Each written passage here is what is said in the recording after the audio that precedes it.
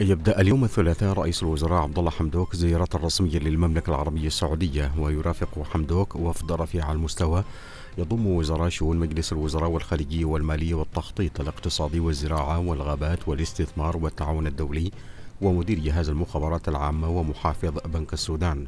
ويدخل حمدوك فور وصوله في اجتماعات حيث سيلتقي بسمو ولي العهد السعودي الأمير محمد بن سلمان بن عبد العزيز نائب رئيس الوزراء وزير الدفاع وعدد من المسؤولين السعوديين. تلقى رئيس الوزراء عبد الله حمدوك مكالمة هاتفية من الأمين العام للأمم المتحدة السيد أنطونيو غوتيريش تناولت الأوضاع المحلية والإقليمية وتطورات ملف سد النهضة وجدد الأمين العام للأمم المتحدة دعمه لعملية الانتقال الديمقراطي بالبلاد كما أشاد بالإجراءات الاقتصادية الأخيرة.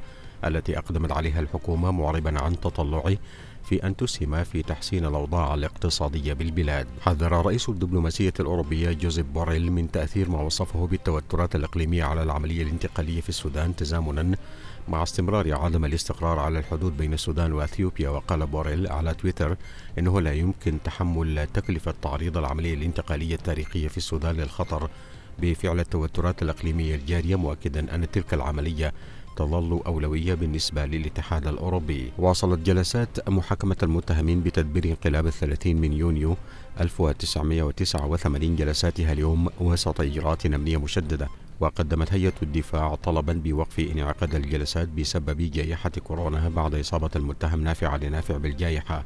وقررت المحكمة رفع الجلسات لمدة أسبوعين من تاريخ اليوم. أبدت شركة روبا الأمريكية رغبتها الاستثمار في مجال المعادن بالسودان خاصة الحديد والنحاس والزنك والرصاص.